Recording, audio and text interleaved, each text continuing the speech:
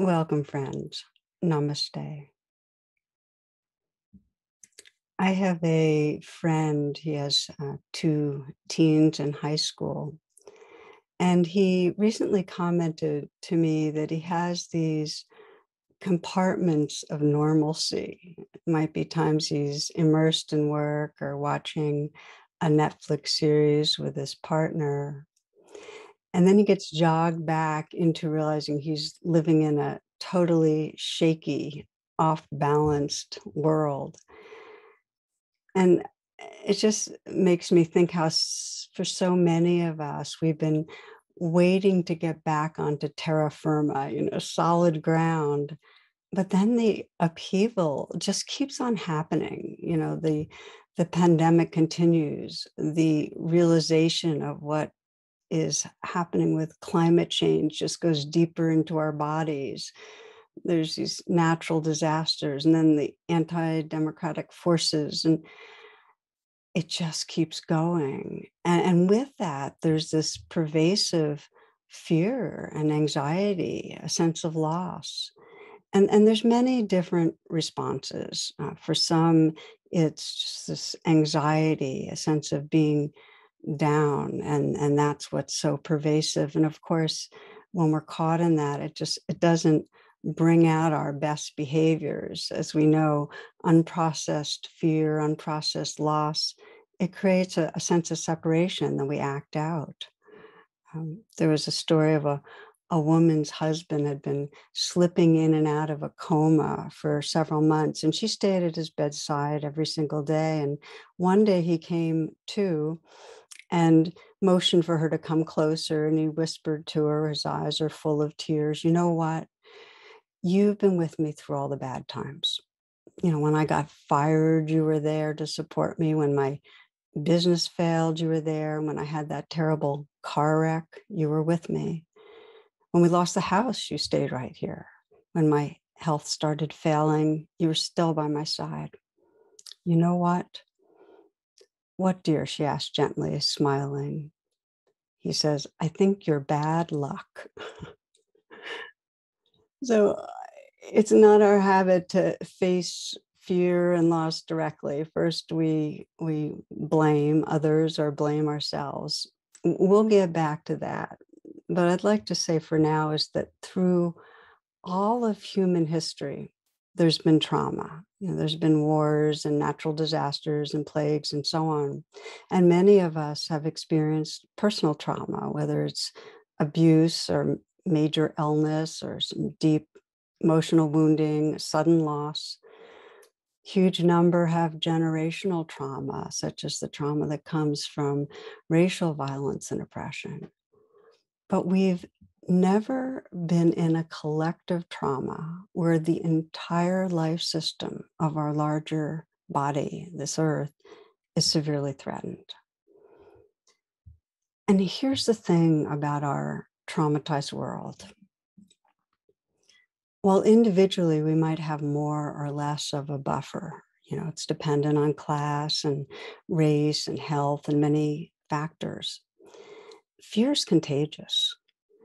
And the fear level's been ratcheted up around the globe and it keeps on increasing. And our nervous systems register it. And what that means is that as there's increasing fear in society, hand in hand with unprocessed fear, there comes violence, there comes addiction, there comes fundamentalism, there comes a tendency towards rage, towards creating bad other, towards that dividedness. I got a, another email in the last week or so.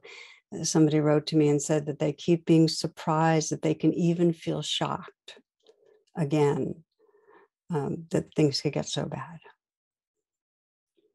So I'm naming all this because I imagine that many of you listening, they're here with me, can sense this that the illusion of life as usual, you know, that sense of ongoingness, of some level of certainty that whatever we took for granted about our society is there, it's it's been broken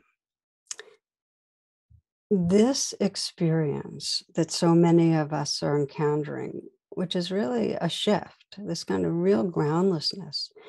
It's parallel to a pivotal moment in the life story of the Buddha, where Siddhartha Gautama, that's the Buddha to be, he lived his first decades, you know, as a child, as a young man, um, in the very secure and stable um, domain of his family's palaces, the palaces and the grounds. So he, he had a lot of security. And then at one point, he took some excursions outside the grounds. And that's when he encountered a person who was old, and then a person who was sick, and then a corpse, a dead person. And his illusion was destroyed because he realized, okay, this is going to happen to me too, and to all of us. And that gave rise to the deep inquiry of the Buddha's life, which is also, I feel like, our inquiry, which is given the disillusion of all we hold dear, given the groundlessness of this life, what is the pathway to peace, to inner freedom, to open hearted presence? So, in this uncertain world, what matters and how we live each day? And I'm aware that for many, these aren't new questions. You know, how do we really find inner freedom? How do we live with an open heart? But what's new is that they have a real urgency and immediacy right now. Because if we don't dedicate, purposefully deepen our attention, um, life is easily hijacked by fear and ever more easily in these days. And sometimes it's not so evident. It comes more as a sense of being kind of, you know, chronically off balance or just worried a lot or difficulty really arriving in presence with others, uh, kind of short tempered, maybe a sense of personal falling short but for many, especially those living with some past trauma, very triggering times. A real sense of um, being cut off, of isolation, and kind of more gripping fear. The shaman teach that when there's great fear, energetic parts of us shut down or leave. They just, we get cut off from them. And that disconnects us really from our soul or spirit, however we think of that kind of more wholeness of being. This is spiritual disease. And there's really a deep wisdom in this teaching that when we look at our own lives, when we're gripped by any level of fear, I can speak for myself, those are the moments that I'm just not as in touch with um, an actual visceral sense of loving when there's fear there, I don't have access to wonder or to a sense of the mystery or what's beyond this finite world, the sacredness of life. And in Buddhism, this is the essence of suffering that we get caught in living in this prison of a small, fearful, grasping self. We forget the truth of what we are. We forget the awareness that's here. So the shaman also teach about soul retrieval. So when we're in great fear, in some way, the energetic parts of us and the soul leave, get cut off, and that when fear is properly processed, we can regain that wholeness. And similarly, in Buddhist practice, when we bring mindfulness and compassion to our fears, we can free ourselves from that prison of small self. We can reconnect with wholeness.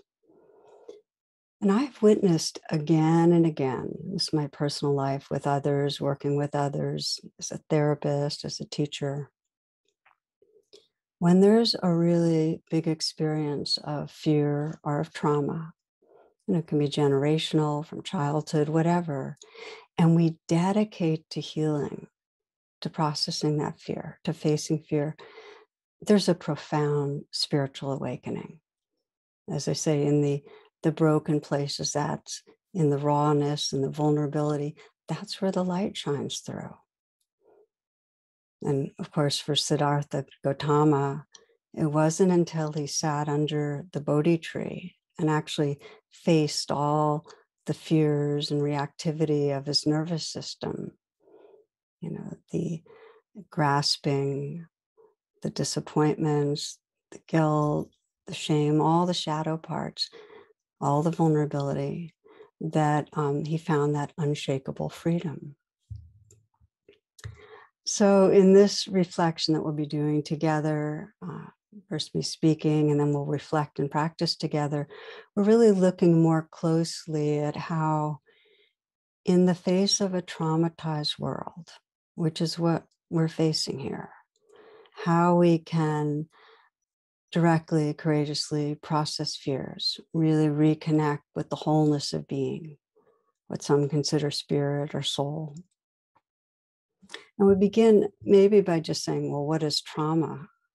And in moments of trauma, the nervous system's overwhelmed and our normal coping strategies just don't work. And when there's not a processing, when we're not able to effectively fight or flee or discharge the energy, the fear stays in our tissues and we develop the symptoms called PTSD. And these are just the ways that our system continues to try to cope and protect and digest and process trauma. And those symptoms include, and this should be real familiar, anxiety and depression and numbing and dissociation, hypervigilance, intrusive thoughts, sleep problems, avoidant behaviors, feelings of shame.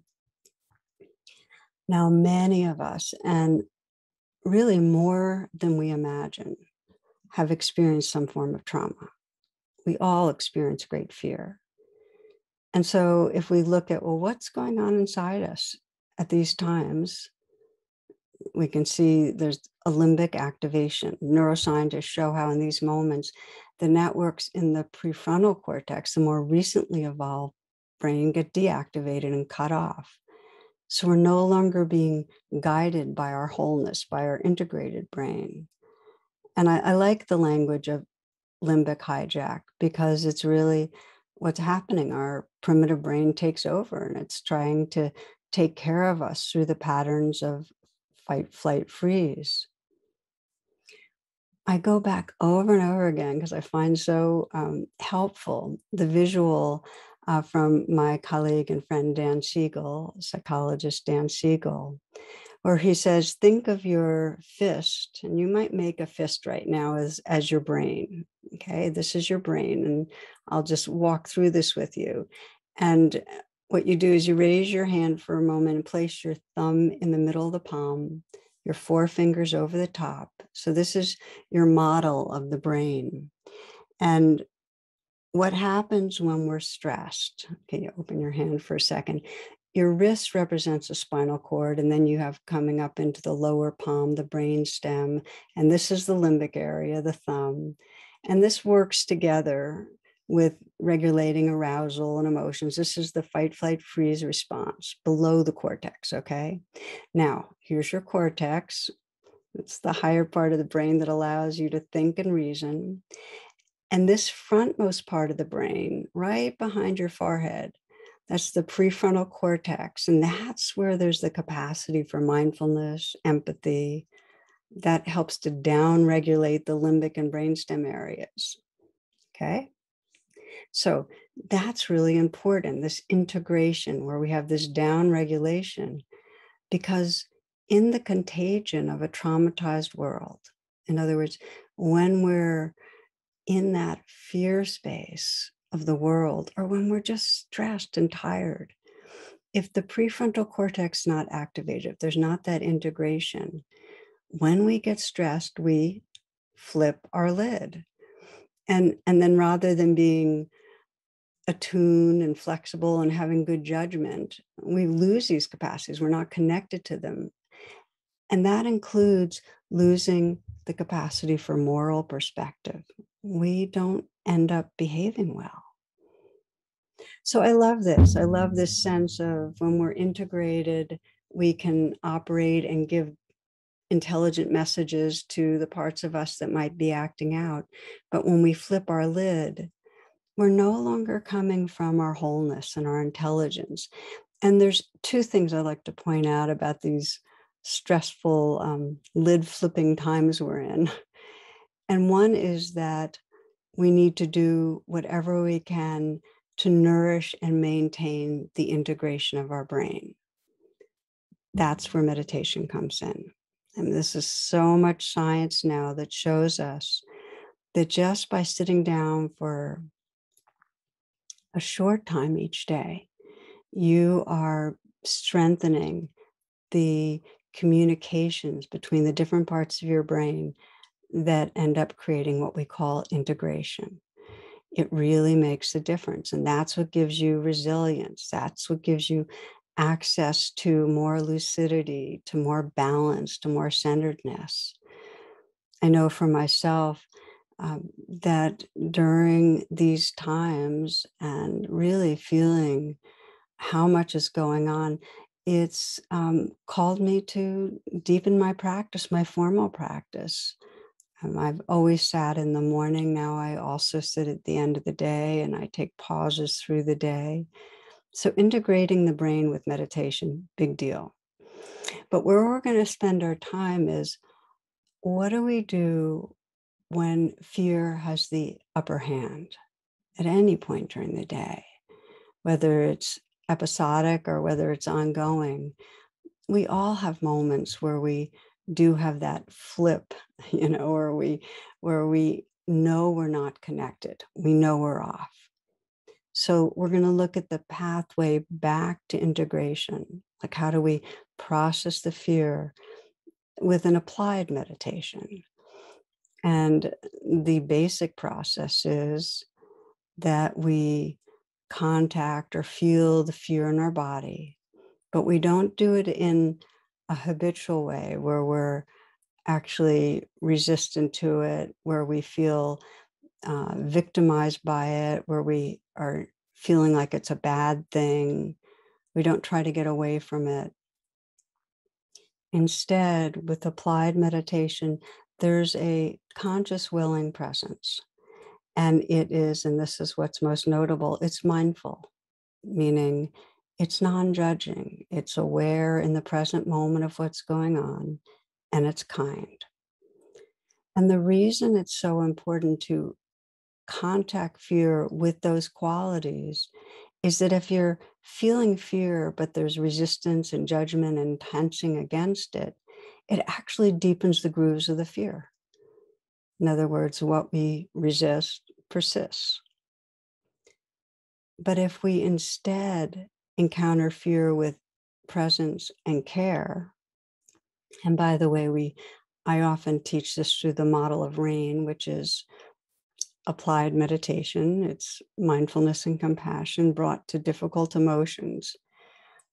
When we do it that way, it creates new neural pathways. There's a new reference experience and it increases our what's called affect tolerance. We start having this growing sense of space where there's room for the fear there's an okayness that the the waves of fear can be uh, tolerated because we're more resting in a kind of ocean of awareness but here's the thing and this is what i want to really emphasize as we drill down when fear is very strong or when there's trauma we can't even do that right away we can't directly contact it. We can't do rain right away because we don't have enough access to mindfulness or kindness. And just re experiencing fear can be, or re experiencing trauma can be re traumatizing. So, we're going to go through some preliminary steps when fear is strong that actually set us up to process fear. And the first step is we need to strengthen some positive resource states. We're going to call this resourcing, which is a very commonly used word in psychology. And it really means that we're that we need to first do whatever we can, direct our attention however we can to strengthen the sense of belonging, of love, of safety. Because here's the thing the very essence of trauma is feeling cut off, feeling separate. So we need a degree of reconnecting to make it safe enough to then begin to directly process. I remember a little story of a, a, young child who's in a thunderstorm calling out to his father, and his father keeps going into his room and saying, It's okay, son, God is with you. And it happens several times. And then the fourth time, the father comes in and the little child says to his father, But I want someone with skin on. and so it is that we need some comforting in order to be with what's here. And, and there are many pathways of resourcing, of reconnecting. Um, we can go into nature. For some people, being in the woods walking or being by a stream or being by the ocean is a way of resourcing. A powerful way of resourcing is movement, is yoga or dancing. Uh, my friend Jim Gordon works with uh, traumatized people all around the world, and he described being with group of women in Haiti, and what really helped them to calm their nervous systems was was dancing wildly together. You know, can be singing, singing with others, creating rhythms with others, drumming. And research, of course, shows how much relational contact resources us and reduces fear just holding hands with a loved one, you can see neuroscientists can show how the activation of the limbic system gets reduced, getting hugged. And what's important to know is that you can resource, if nobody's around, through your own imagination. In other words, you can use meditative processes to resource by bringing to mind a loving other, just bringing them to mind and imagining that they're hugging you. Um, there are so many different pathways. You can bring to mind someone that you know personally, you can bring to mind a spiritual figure. For one man, returned uh, from military service. I was working with him this some years ago, and we were exploring, you know, what is the resource that could help him most start coming into enough balance so he could begin to really process fear. And for him, it was just sensing the light of Jesus. He had an image of light, an image of what he sensed was the presence of Jesus surrounding him. For another woman, it was her grandmother hugging her. Another man I worked with is just bringing to mind his older brother when he was much younger, remembering him protecting him from from bullies and just sensing that there are people who care. I want to spend a little time sharing one woman's story. Uh, she was a parole officer in a state prison facility, and she, African American woman, had experienced generational trauma, but also directly being sexually abused as a young teen and then continued experience abuse with different men in her life. So she attended about four months of my class, my Wednesday night class in meditation. And she told me that she really couldn't feel her body. We do body scans, and she she was pretty numb. And she's also described being very hyper vigilant and a lot of anxiety and depression. And we worked together for a while. And it became clear that she was living with a lot of trauma, that she couldn't just start rain and bring rain to what's going on. Uh, she didn't have enough mindfulness or self compassion to be able to do it. So we started with resourcing, as I'm describing with you. And I asked her who she felt safest with, who she felt most loved by. And she mentioned her sister and her best friend. And then over the weeks, I got added into the group. We were her allies. And I had her imagine us kind of surrounding her, us with her. And then I said, when you feel us around you, what does it feel like in your body? And she said, it's like I'm in a warm bath and, and my body can just relax and let go into it. And she added to that resourcing of imagining us around her a message to herself as she was in that warm bath, which is, May I feel safe. May I feel held in love. So, this was her practice for many months. She wasn't doing rain, she wasn't trying to directly contact fear. Rather, she was just bringing to mind the sense of three trusted people, feeling herself in that warm bath and offering self compassion. May I feel safe. May I feel held in love. Now, before she, it, it became more direct, and I'm going to explain how, but the resourcing first was the atmosphere that actually allowed her to go deeper. And the self nurturing becomes a really important part of that. Uh, for many of us, the resourcing can be things like you know, you'll be okay. Trust yourself. You're held in love. I'm here. I'm not leaving. You know, thanks for trying to protect me. I'm okay right now. Now, some of you might sense this is familiar because this is the N of rain. It's nurturing. But with strong fear, and this is what's important, you need to nurture upfront before you go through the process of direct contacting. You start with nurturing. And I want to say that most everyone I know needs to have a way of resourcing themselves. We all get thrown off. We need ways of, you know, intentionally reconnecting, calming the nervous system so then we can be present with what's here.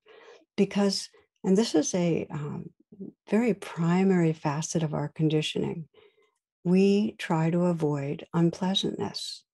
It's part of survival to dissociate from unpleasantness.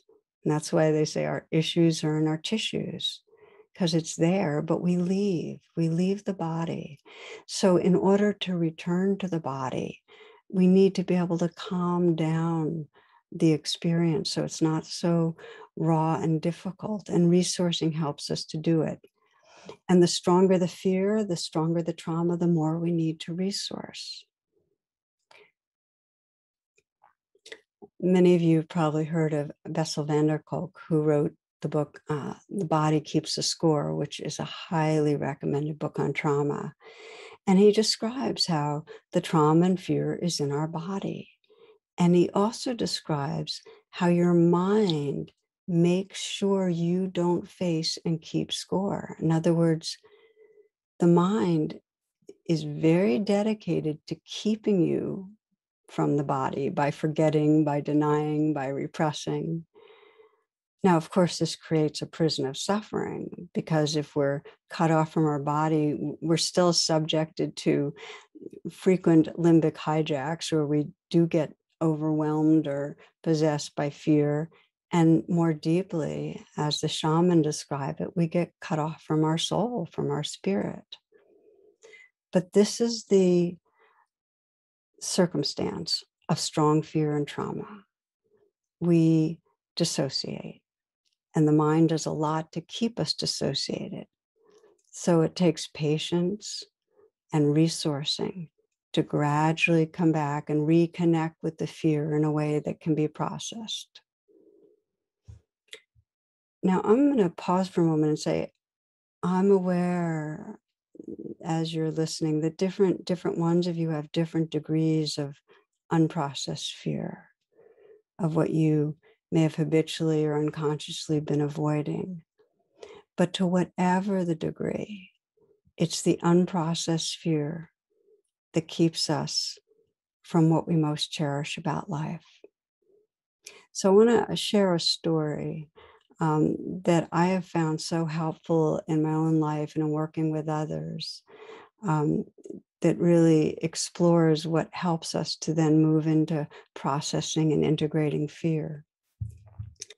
And this story actually is something that I, I was working with a woman years ago, and as part of her healing, she she actually wrote the story that was very much about her own process. So this is something she wrote, and in it she was seven years old, and she describes hiding in a closet and being terrified after an unexpected attack by her drunk and enraged father. And the little girl in her story is praying. Her little girl saying, Help, I can't take it anymore. And then the little girl opens her eyes and sees a fairy in a haze of blue with a glittering wand. And she lets the fairy know how her father's been beating her and her mother doesn't help and how she feels like they both wish she was dead. And the fairy listens with tears in her eyes and then tells her that while she can't make all the pain and fear disappear, she can help her get through this time. She can help her forget and then remember later when she's able to handle it. And with a wave of the wand, the good fairy said, I'm going to send things into different parts of your body, and they're going to hold them for you until you feel strong enough to let them move freely again. And she explained that she's going to tighten and dull the little girl's pelvis and belly, and she's going to constrict her heart and her throat and protect her from feeling the raw intensity of the hurt and the fear and the brokenheartedness. And I'm, I'm reading you this part. She said, You will have trouble feeling and being close to people, but it will be your way of surviving. And at those times that the pain erupts, you will find your own ways to control it, ways that may not look good to the world, that you may judge yourself, but they'll be of temporary comfort. And you, my darling, will be a fairly functional human being in spite of all this, because you have a strong mind and you can hold this all in, and I will be helping you. The child, looking directly into the fairy's eyes, asked, How will you help? Will you come back to see me? You will not forget everything. I will leave a voice inside you that will urge you to reconnect with your whole self. It may be a very long process, but in time, you will feel an urgent calling to step out of imprisoning beliefs, to unwind your body and release what it's been holding all these years. You will learn the art of sacred presence, there will be physical and emotional pain as you open, but you will have what you need the compassion and wisdom, the support of loving others, to be a whole person, spiritually awake, but still the same. This is because your soul has always been there, just hidden by the scars of this lifetime. The good fairy put her arm around the child's shoulders and gently led her into bed. She waved her wand and stood by as the little girl finally relaxed into a deep sleep. She gazed tenderly at the small, innocent face and then whispered her goodbye. When you wake up, you will forget I was here. You will forget you asked for help. You will forget the sharpness of your daily pain. This is the only way I know to get you through this. You are a beautiful child. I love you, and in fact, your parents love you, although they're incapable of showing it to you. You will have to love yourself enough to heal so that when you're older, your life will be powerful, full, and free. One day you will know who you really are. You will trust your goodness and know your belonging. Until then, and for always, I love you.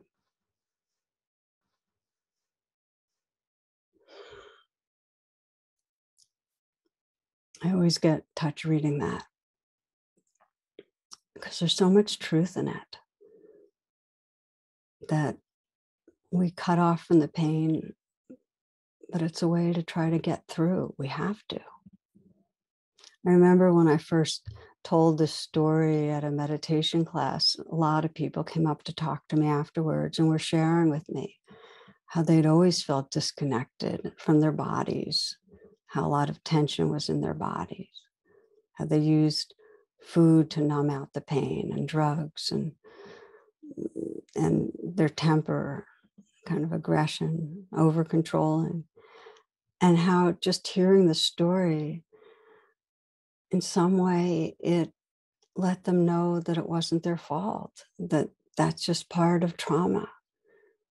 that we have to dis- dissociate and get away from the intensity. That there are ways that we move through life to cope that don't look good, but they get us through. And that those strategies are trying to protect us. It's helpful to know that. And it's possible. That's part of the story to get more resourced, to have a pathway to healing. So I want to just stay with the key piece here, which is that along with most trauma I've ever witnessed is shame. They just go hand in hand. That the dysfunctional behaviors, the coping strategies that try to keep us, you know, moving and okay, actually end up being owned as a bad self, identified with as a bad self. And they were the best we could do to deal with overwhelming pain. They were well intentioned, of course, no longer functional. So if we're living with trauma, it's that story. We have our leg in a trap. We're going to have to have self-protective behaviors, so there's addictive behaviors that that aren't our fault. The last uh, satsang I had last Saturday, one woman was sharing her addictive behavior, which is seeking and grasping after older women to love her, to take care of her. And then we went back in time, and of course, her mother neglected her terribly. And, and she's trying to find that mother, and it's not her fault. And the first step of healing is to forgive, to forgive ourselves if we can really get it's not my fault these coping strategies are not my fault if we can get and dissolve that layer of shame then we can begin to resource ourselves and and and move into the processing of the actual wound. Often we have to do it with others.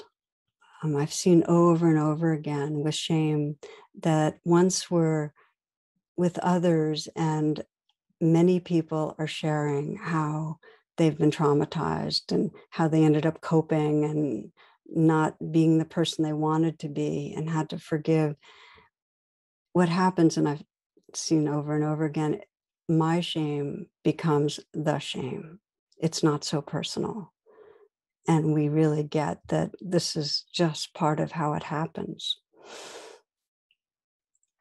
I remember long ago there there's a cartoon of two bears and they've trapped a man and they have him kind of hanging from a tree and uh, the bears are talking they say his name's bradshaw those of you many of you probably know john bradshaw is famous for the book on shame so they're saying his name's bradshaw he says he understands i came from a a single parent den with inadequate role models, and he senses my dysfunctional behavior is shame based, and he urges me to let my inner cub heal.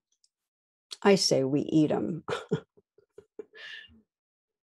okay, so we've we've talked about resourcing, about unpacking the layer of shame. And now I want to directly talk this final part about how do we then process the fear.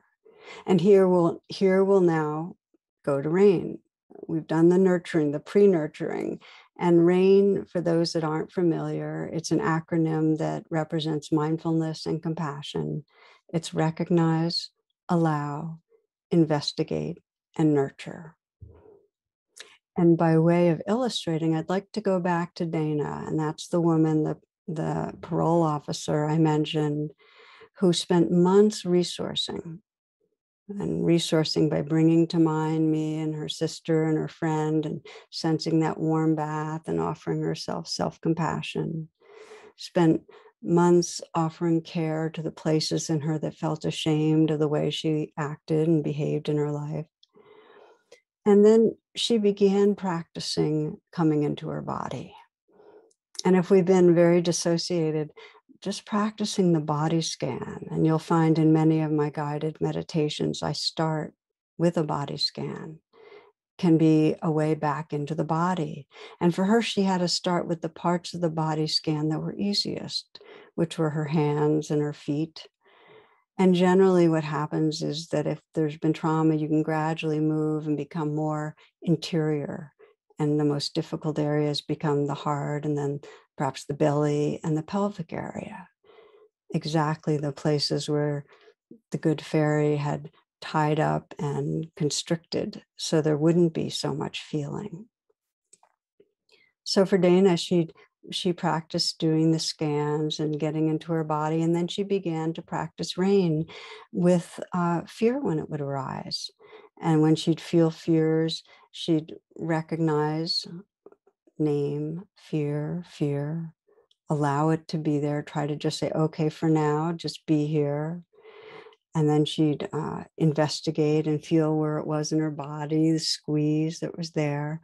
And again, she'd put her hands on her heart, and sometimes she'd imagine that that that gaze, the warm uh, light of the fairy godmother, and she'd put her hands on her heart, and she'd, you know, sometimes sense the three of us around her, and she'd different types of nurturing, you know, and often she'd say to herself, "May I be safe."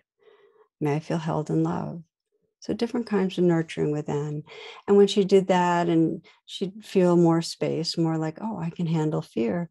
And there were times that she couldn't get through rain. And then she'd redirect her attention. She'd just stop. And again, just imagine the three of us around her. So when there's strong fear, you might start rain and find out it's too much, or you can't allow, you can't do the A. Then go back to resourcing she practiced like this for a while and got better and better at being able to move through the whole rain practice. But then she had a very, very intense experience uh, that I want to share with you.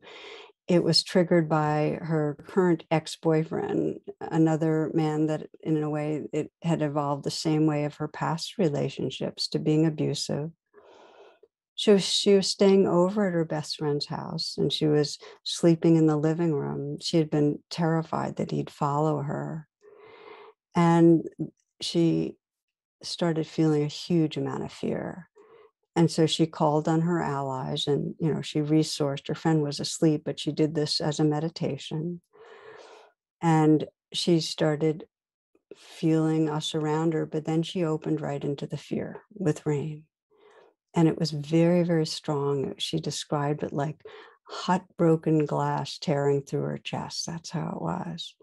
And she kept having to resource, imagine us to stay with it. And as she did, she kept letting the fear move through her, let it, letting it unfold.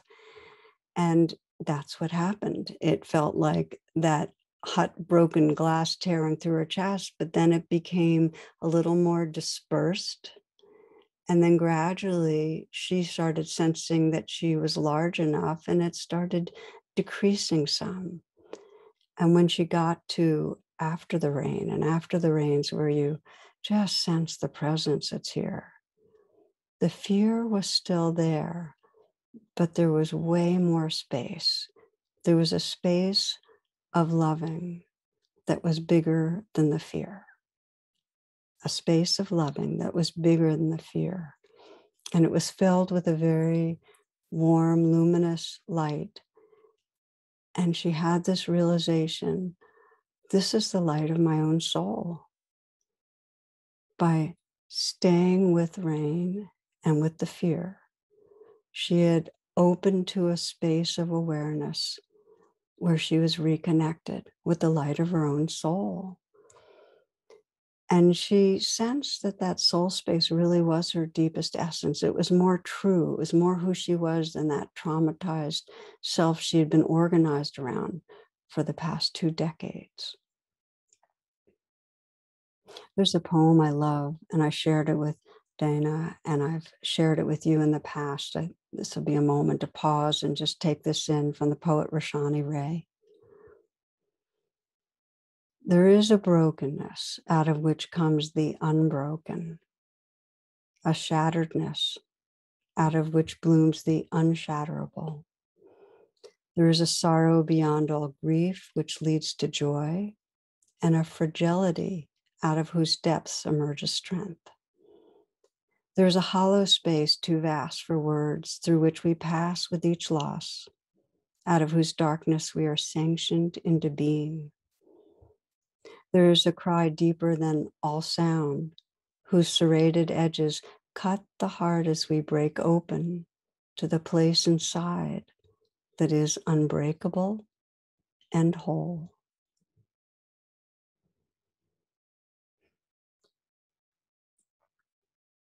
Fear is something we all don't like and want to get away from. And yet, when we have the courage to turn towards it, to open to it, it becomes the portal to realizing love, to realizing awareness, to homecoming. And it's a path that each of us has to go on. Everyone on a healing and spiritual path has to face fear, has to process fear. And it includes this kind of inner processing for all of us. At some point, we need to be able to stay with and be with and feel. But it's not a solitary practice. We also need others to be part of it. Our great disease is the illusion of separation. There's no way to trust our belonging without awakening together. For Dana, I described, I told you she was a parole officer. Several months after this experience, she uh, was at work and she called a parole client who had missed an obligatory relapse prevention meeting and confronted him with that. And he went into an aggressive rant, you know, cursing. And he, he ended up saying, You're like all the rest. You don't give a shit about what my life is like. And he slammed down the phone. And she sat there and it was triggering. Her heart was racing, her whole body shook. And she knew she needed rain. And she knew she first needed a resource. So she planted her feet firmly on her rug, kind of grounding, and she called on her allies.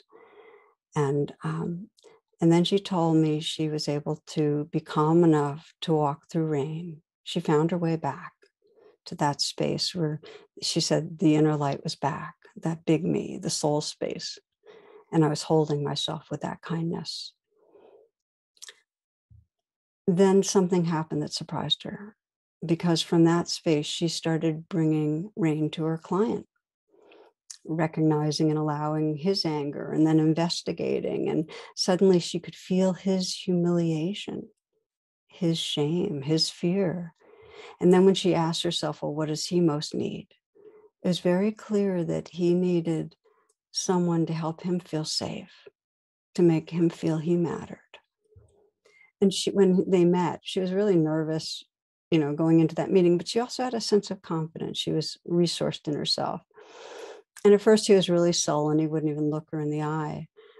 But then she started asking him questions and really showed her concern, and he became animated and he was telling her how wild his old friends were and how hard it was to stay clean. And before leaving, he said, You know, maybe I got you wrong. And I'm sorry about that. And thank you for being on my team. And she shared with me that in the past, uh, she had been pretty armored, didn't cut others much slack. But through processing her own fear, reconnecting with her own soul, she found she was increasingly kind and empathetic with others. She was actually wondering, well, how can I help others feel safe? How can I help them reconnect?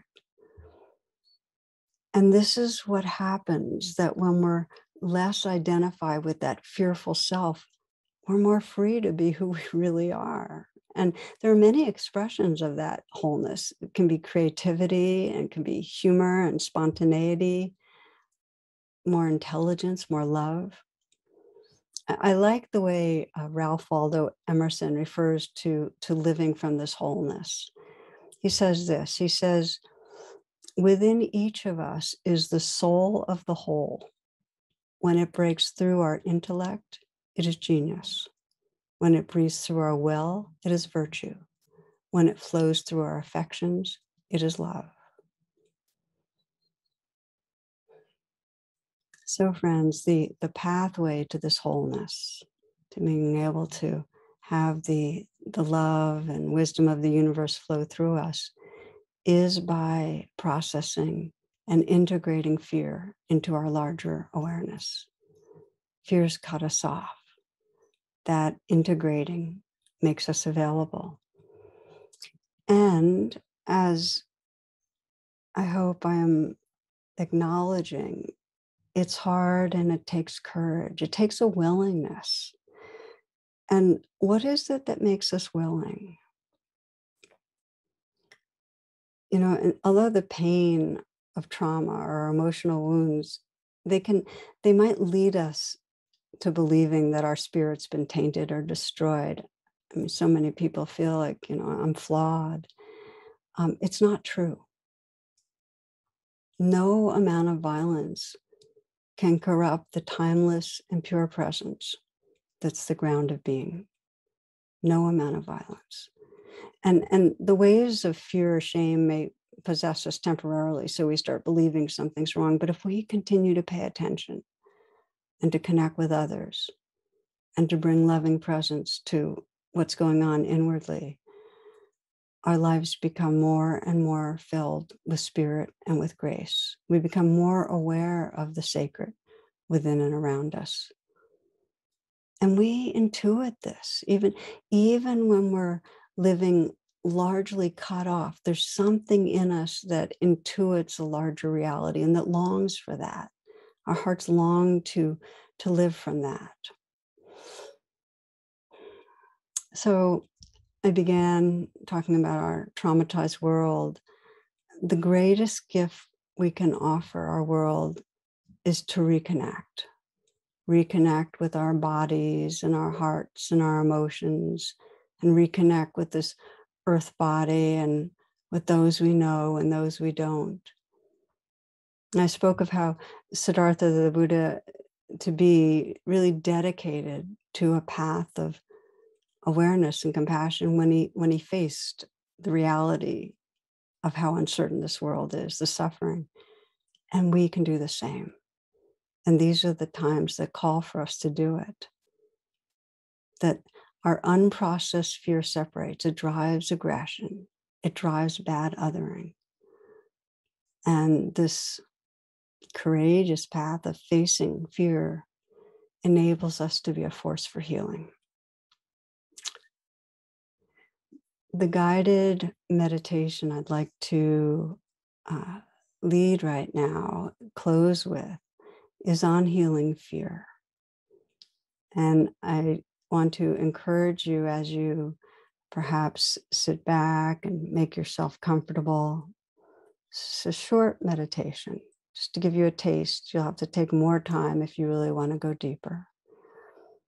Choose something that's not traumatic choose a situation in your life that arouses mild fear, some level of fear. Might be something to do with the what the world is going through, pandemic, climate change, the political dividedness and violence, racism, may have something to do with what's immediately going on in your own life with relationships or health. Whatever it is that brings up some sense of anxiety or fear. And we'll be starting with resourcing. But if at any time during this practice the fear feels like it's too much, go right back to the resourcing. Don't try to directly encounter fear the resourcing itself is a powerful way of setting the groundwork. So bringing to mind situation and taking some moments to let yourself sense how that situation is living in you.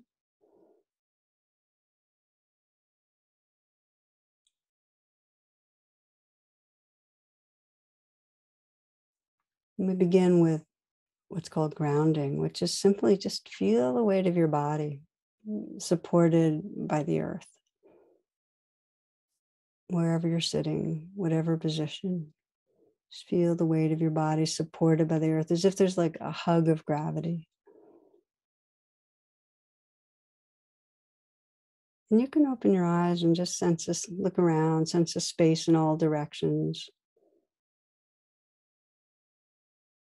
So you're grounding yourself in what's here, just noticing what's in the room or what's outside the window, through the window.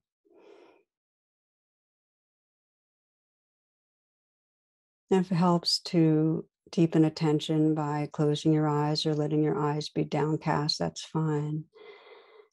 And resource by bringing to mind somebody who gives you a sense of feeling loved, connected, safe. It could be a person you know that's alive. It could be someone who you've known who's no longer alive. Could be a being you don't know who gives you a sense of safety and love. It could be a spiritual figure.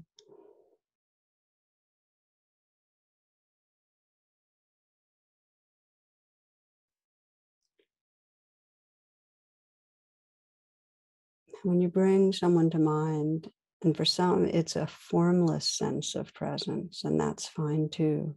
Let it be close in to actually sense that being or the presence that's coming through them as close in, as surrounding you, as filling you, as Dana did, kind of bathing you.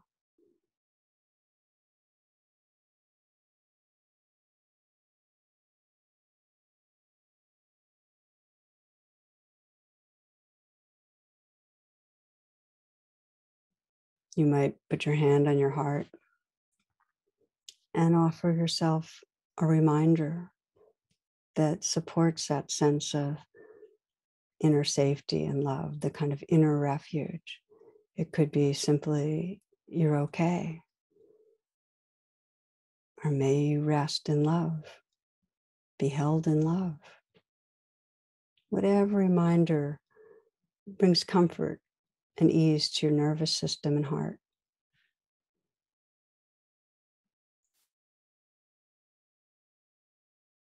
As you do, you might slow down your breath. It's a slow, long, deep in breath and out breath, maybe four or five seconds.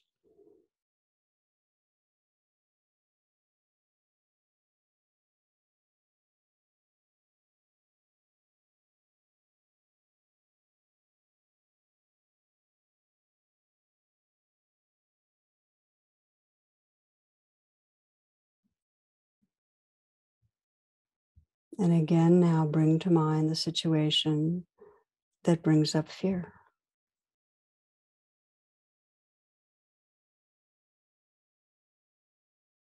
And let the situation be more close in now and sense what's the most difficult part about it, what's most upsetting or scary.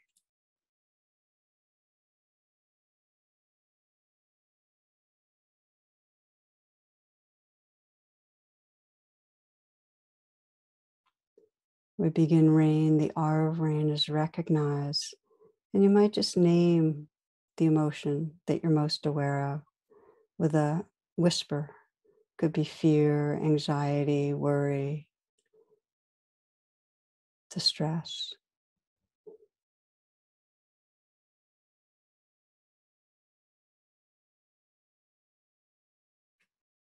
The A is allow. And that's just letting it be here without adding a judgment, without pushing it away or fixing. And if it's not possible to allow it, then that's a sign to go back to resourcing, which is quite fine. But if you can allow it for a little bit, it's like you're saying for now, letting it be here, then you can begin investigate. And you might notice what you're believing, is going to go wrong, what you believe is wrong with you or wrong with somebody else. What's the belief that goes with the fear?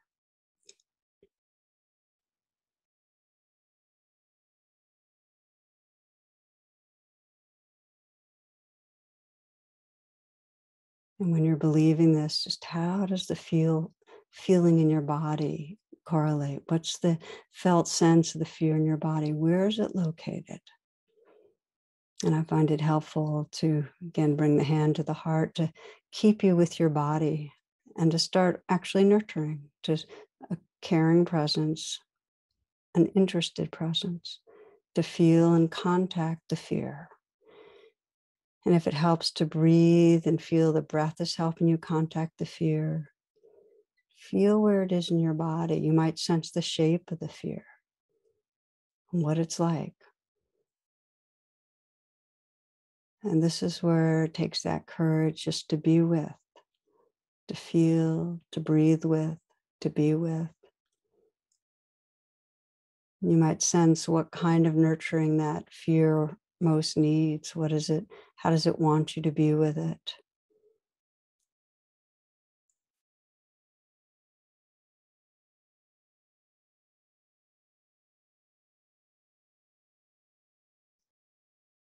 And as you listen to and feel the fear, you might sense that you can, from your most spacious awareness, from the love of your awake heart, offer what might be needed in this moment.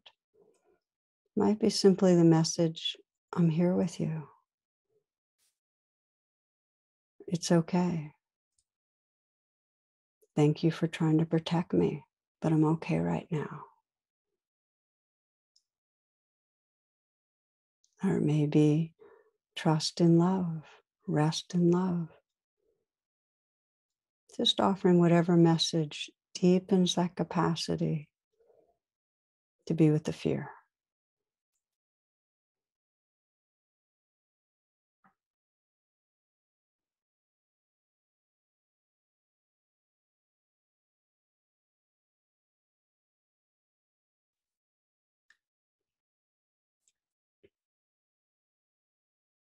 You might sense that the vulnerable place is really bathed, held by love.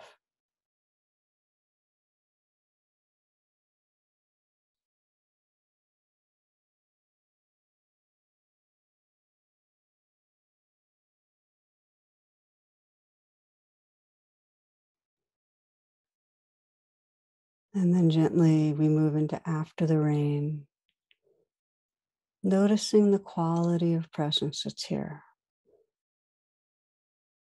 the awareness that's awake, witnessing, including all that's going on.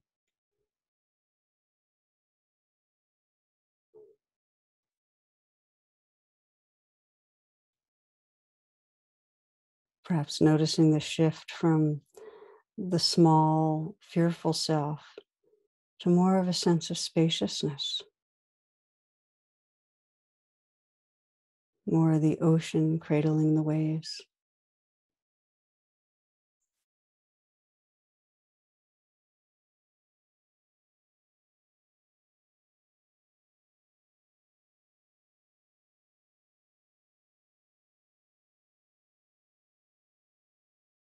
Sensing the space, the tenderness that's holding the fear, and knowing this spacious awareness, this tenderness is more the truth of who you are than any story of a fearful self.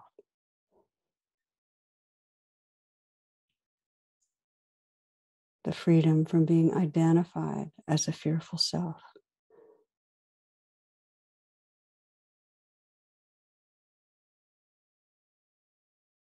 Resting as the awareness, the ocean that's cradling the waves.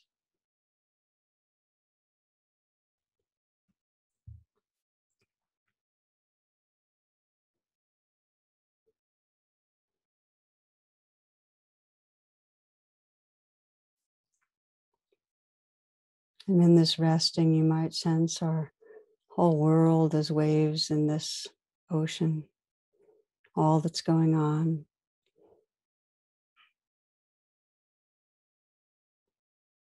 Sense our shared prayer that growing numbers come home to realize their essence as loving awareness,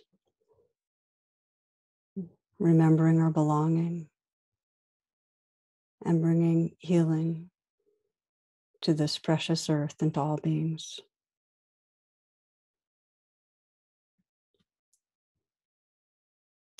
Namaste, friends, and thank you for your presence and your care.